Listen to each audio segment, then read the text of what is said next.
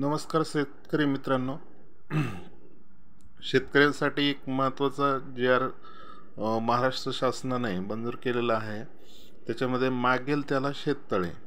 Lottery पद्धत आता बंद केलेली आहे की जेणेकरून ती लॉटरीने सर्वसाधारण ज्याला पाहिजे त्याला भेटत नव्हतं आणि ते ज्याला नको आहे त्याला भेटायचं. म्हणजे लॉटरी पद्धत बंद झाली.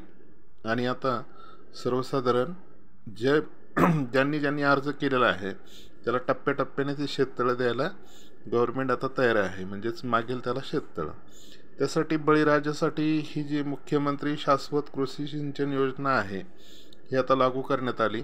याच्या अंतर्गत तुम्हाला शेततळ्यासाठी अर्ज करू शकता.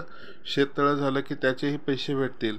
आणि प्लास्टिक अस्तरणीकरणासाठी स्वतंत्र अर्ज करायचा आहे म्हणजे जे आपण त्याच्यामध्ये कागद वापरतो प्लॅस्टिकचा त्यासाठी एक स्वतंत्र अर्ज करायचा आहे त्यालासुद्धा आता पंच्याहत्तर हजारापर्यंतच तुम्हाला एक अनुदान दिलं जातं.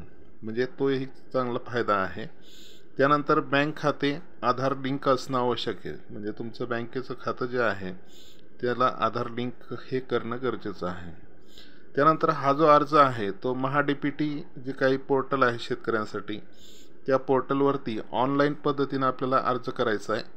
आणि तुमचा ज्यावेळेस नंबर येईल त्यावेळेस तुम्हाला कृषी सहाय्यकामार्फत ती सूचना किंवा मोबाईलवरती तुमच्या एक मेसेज येऊन जाईल. त्यानंतर वैयक्तिक शेततळ्यासाठी तुम्हाला कोणकोणती कागदपत्रे लागतात पहा. जमिनीचा सात बारा उतारा या ठिकाणी सातबारा हा महत्त्वाचा आहे. आणि शेतकऱ्याचे त्याच्यावर नाव असलं पाहिजे. म्हणजे जो लाभधारक आहे तो. आणि किमान साठ गुंठे जमीन त्याची असली पाहिजे. त्याच्या कमी जर असेल तर शेततळ मंजूर होणार नाही. लक्षात ठेवा. आधार कार्ड हे बंधनकारक आहे. ते पण बँकेशी लिंक करून घ्या. त्यानंतर बँक पासबुक आणि हमीपत्राचेही बंधन. एक हमीपत्र द्यावं लागतं तुम्हाला आणि पासबुक द्यावं लागतं. म्हणजे पासबुकची झेरॉक्स. आणि मागासवर्गीय असन तर जातीचा दाखला या ठिकाणी द्यावा लागतो. अशा पद्धतीने कागदपत्र फार लागत नाही आहेत तर कागदपत्र हे कमी लागतात. परंतु जवळजवळ महत्त्वाची जी आट आहे किमान साठ गुंठे जमीन ही शेतकऱ्यांच्या नावं असली पाहिजे. आणि मागेल त्याला शेततळ. ह्या संधीचा किंवा ह्या योजनेचा सगळ्यांनी एक लाभ घेतला पाहिजे.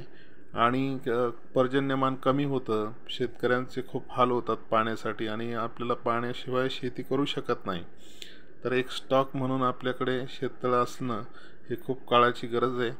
आणि हे शेतकऱ्यांसाठी खूप चांगली बातमी आहे. म्हणून त्याच्यासाठी मला एक असं वाटलं की एक व्हिडिओ बनावा आपण.